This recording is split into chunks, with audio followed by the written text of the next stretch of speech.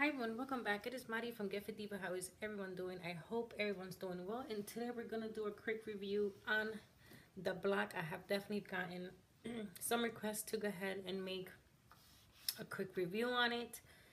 Um, for those of you who are new to my channel or don't follow me, I have a home gym.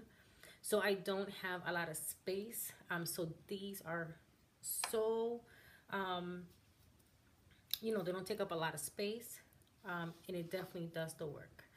Um, one thing that I love about it is I, I tried my hardest to keep proper form. I have a pinched nerve in my back, so I'm like a little bit all over the place when um, I lift. So the fact that, hold on, let me just bring it down. It keeps your wrist in form that to me is huge and i love that about this. You know it's like there you don't have no way of jerking your wrist over the place um, so i definitely appreciate that from that.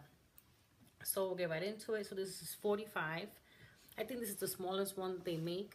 Um, the smallest weight is 10 and it goes up to 45 and it's color coded and it's also color coded in the side um, and it's super simple.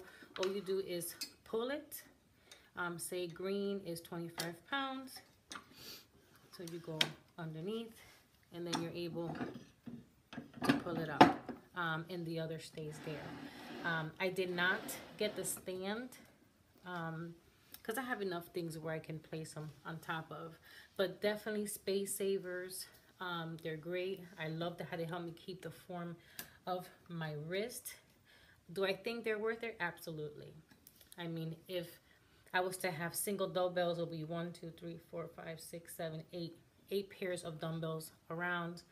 Um, I have a home gym, don't have that much space, so these work great. So I hope you like the review. If you have any questions, please let me know. Without being challenged, muscles are being challenged right now. Come on. You have two more guys. Hopefully Do lift it. as well. Don't just allow them to fly back down.